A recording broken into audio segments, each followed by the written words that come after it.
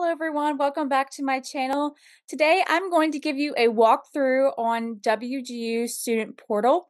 I feel like I should have made this video a long time ago, um, but I'm really excited to share with you the new features that the Student Portal has and also reference some really great resources that I think you'll find interesting as a student.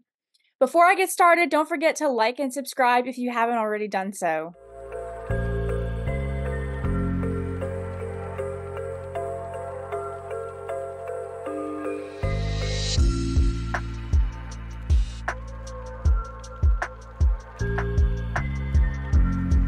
Right, so once you've logged in, this is basically what your homepage will look like.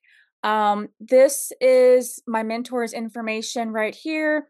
Um, I don't have any courses registered at the moment because um, I'm just getting started, um, but I will soon. So um, once you have courses that are already that you're taking, they'll show up right here. We've got term progress. This just tells me how many weeks remaining. And then as it gets closer to like days, like after like maybe a week left, it'll say like five days left or something like that. Um, this is competency units, how many I've completed for this term. This is how much of my program I've completed. And again, it shows it in terms as well. And then this is my graduation goal. And um, right here, this is all of my courses that I've that I will be taking. If they're active, they'll show up here on active. If I've completed some of them, they'll show up right here. And then you can just click this for all. So that is basically the home page. You also have some very important buttons. You have courses, degree plans, success centers, and student support. So I'm going to click on courses.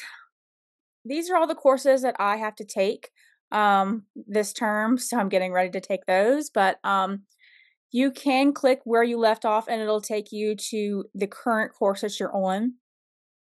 Um, so this is just an, an example. This is my first course that I'll be taking.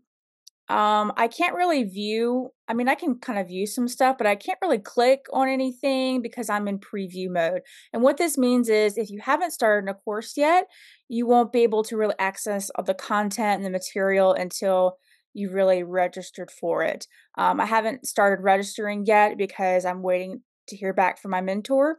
Um, but once I'm registered and ready to go, there'll be a button up here that says start course. I'll click it and then I'll start the course. So as you can see, this is the degree plan. These are the courses that I have yet to start, and I will start as soon as I get back with my mentor on this. Um, but you can also click right here and it'll show all the classes that you've already completed, um, which there are a lot for me because I'm almost done. Yay!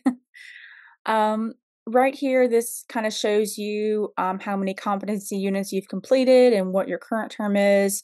Um, I know that I've got a lot, but I'm really hoping to finish this all within hopefully February or March. Um, again, here's my graduation goal and then my field experience. So, your field experience page, this page really is going to help you get started. Now, I've already completed all this, but once you are officially starting with this, um, it's going to say all of this kind of stuff and it'll probably not be completed, but mine's already completed. Um, so, this is all the stuff that you have to complete to be able to do PCE and direct teaching. Um, as I said, I've already took all of these. I'm just waiting for my background check to come in. Um, but you've got basic skills tests, you've got all these things you have to sign and whatnot. I'll make videos for these. Don't get um, overwhelmed as to what you have to complete. I'll kind of break it down for you in those videos. Um, but this is where you can find your field experience um, sort of stuff. Heading back over to the degree plan, um, this is where you can also change your graduation goal. I just wanted to make that clear. Um, so you could click it and you could change it to something else um, right here. That's the only thing I wanted to, to tell you. If we go here, this Success Centers, we have Academic Coaching Center. I've actually made a video about this and I'll link this down below because it's really more in depth. It's got a lot of stuff um, that would really make this video really, really long. Um, but this basically has a lot of stuff um, to really help you as a student, lots of resources, and just provides um, some live events. Again, I'll post the video down below for you. You also have access to the library, the Career and Professional Development Center, and the Personal Learning Guide. I think I've mentioned this in a few other videos. I'm going to go ahead and click on it to show you what it looks like for me. So they've added this new section because I'm almost done with my degree and now I'm getting ready to move into the career readiness uh, program.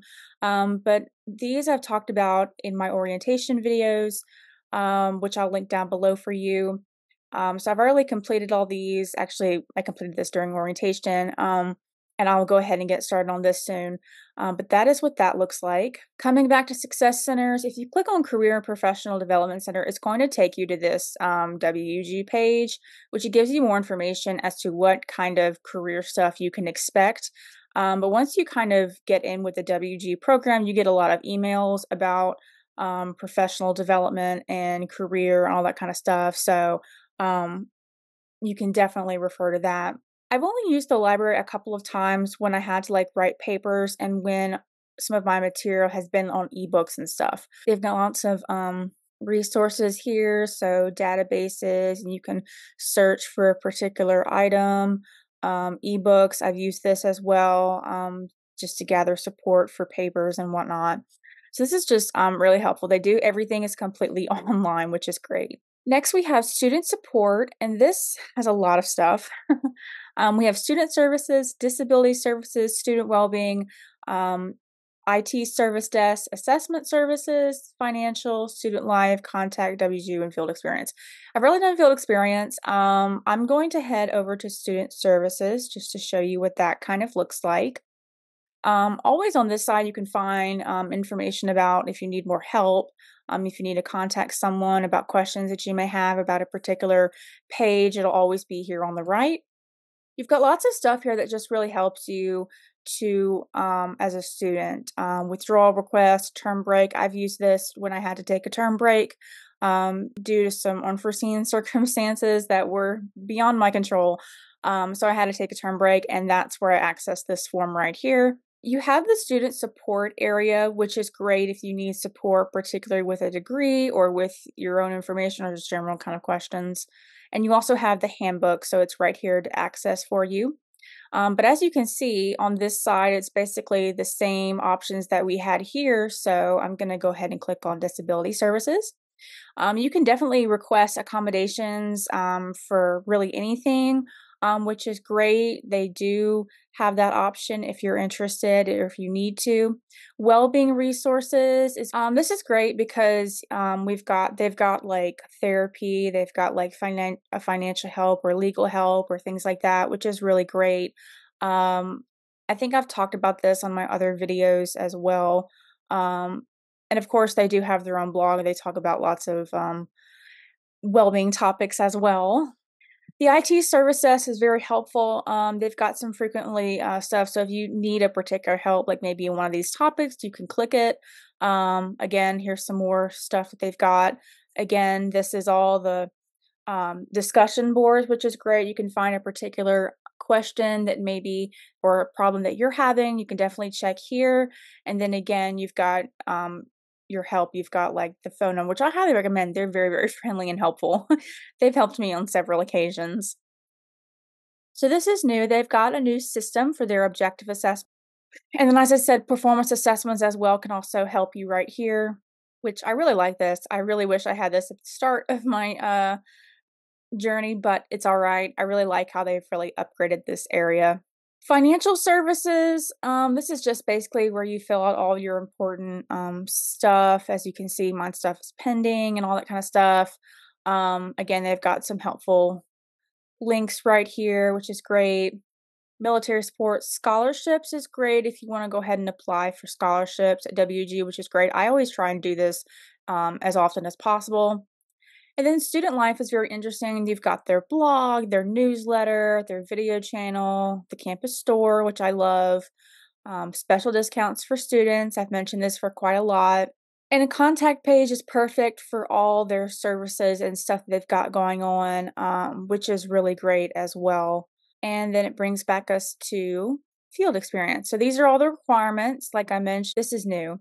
You've got applied for preclinical experience, approved, all that kind of stuff, full acceptance, whatever, which I think is great. Um, and then we've got a place for absences just in case um, I would be somehow absent for a day during my teaching hours. And then on this side, like on the side where you click your name, it has some information about um, you personally and how you can customize this page a little bit more to your liking with like text or whatnot. Um, and they also have your information as well. That is basically how you can navigate the student portal. I really think it's a more updated version of the student portal, and I really like how they've changed some stuff, which I love. I think it's great. And I also love how they've um, really changed some stuff too. So I'm really excited um, to see how you guys will like this down below. Comment, question, whatever.